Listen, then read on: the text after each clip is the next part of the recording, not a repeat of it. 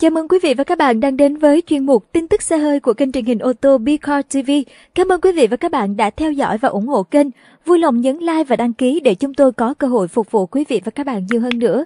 Sau đây, xin mời quý vị cùng theo dõi tiếp chương trình. Xe hatchback hạng B giảm giá mạnh, cạnh tranh với xe hạng A. Phân khúc hatchback hạng B tại thị trường xe Việt Nam đang là sân chơi dành riêng cho xe nhập khẩu từ khu vực ASEAN về Việt Nam, hưởng ưu đại thuế 0%, bao gồm những mẫu xe nổi bật như Toyota Yaris, Honda Jazz, Suzuki Swift, Mitsubishi Mirage hay Mazda 2 hatchback. Theo ghi nhận thị trường trong 3 tháng gần đây, nhiều mẫu xe hatchback hạng B được các hãng liên tục áp dụng ưu đãi khuyến mại giảm giá mạnh, đưa giá xe về sấp xỉ hoặc thậm chí thấp hơn một vài xe hạng A mới ra mắt, khiến người tiêu dùng không khỏi bất ngờ.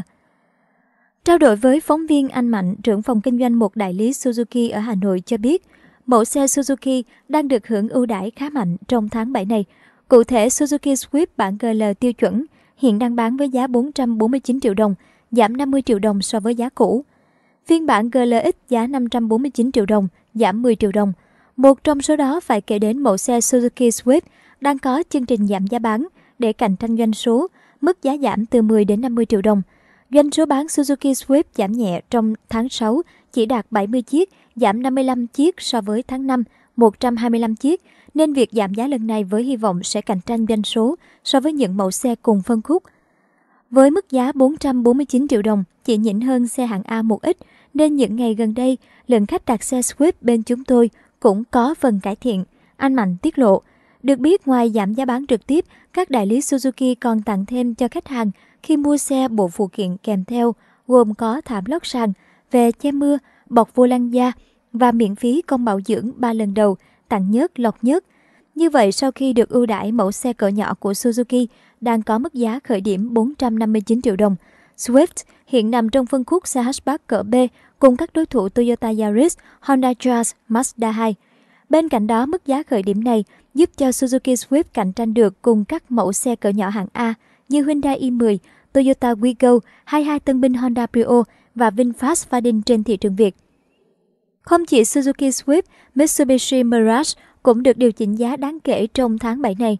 Theo đó, phiên bản MT được điều chỉnh từ 380,5 triệu đồng xuống mức 350,5 triệu đồng.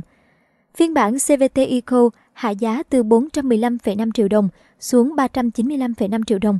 Đồng thời, hai phiên bản này còn được Mitsubishi tặng bệ tự tay trung tâm cho khách hàng mua Mirage phiên bản CVT và CVT Eco. Đáng chú ý, với phiên bản tuần dư 2018 còn được giảm kịch sàn lên đến 50 triệu, đưa giá xe xuống còn 300 triệu đồng. Xác nhận với phóng viên về thông tin trên, anh Vĩnh, nhân viên sale tại một đại lý Mitsubishi ở Hà Nội đã nói, 300 triệu đồng là giá bán chỉ áp dụng mẫu xe Mitsubishi Mirage phiên bản 2018. Đây được cho là lần giảm giá chạm đáy kỷ lục từ trước đến nay ở đại lý chúng tôi. Số lượng xe 2018 không còn nhiều. Tôi nghĩ khách hàng cần nắm bắt cơ hội này nếu đang có ý định mua xe hatchback hạng B, bởi 300 triệu đồng còn thấp hơn Wigo MT và Grand i10 MT, VinFast Fadin hay mẫu xe mới của Honda Prio. Cũng thuộc phân khúc hatchback hạng B, Honda Jazz từng gây sốt khi giảm giá khủng phiên bản 2018, được nhiều đại lý Honda áp dụng lên tới 100 triệu đồng một xe. Giá bán của Jazz 1.5 RS giảm xuống còn 524 triệu đồng, còn bản tiêu chuẩn chỉ khoảng 444 triệu đồng, chưa bao gồm khuyến mại các phụ kiện kèm theo. Đây là mức giá hấp dẫn chưa từng thấy. Thời gian khuyến mại kéo dài đến hết tháng 6, khiến doanh số mẫu xe này tăng vọt. Đạt được 408 chiếc trong tháng 6, cao gấp 3 lần so với tháng 5, 137 chiếc. Mazda 2 hatchback đang có giá bán chính thức từ 509 đến 599 triệu đồng, giảm 20 triệu đồng so với trước đó. Đi kèm mức giảm giá này là nhiều ưu đãi, quà tặng giá trị. Mẫu xe có doanh số cao nhất trong phân khúc này là Toyota Yaris, cũng được hãng giảm giá trong tháng 7 này. Mức giảm khoảng 20 đến 30 triệu, tùy từng thời điểm. Toyota Yaris 2019 hiện chỉ phân phối ra thị trường Việt Nam một phiên bản G cao cấp nhất với giá niêm yết 650 triệu đồng.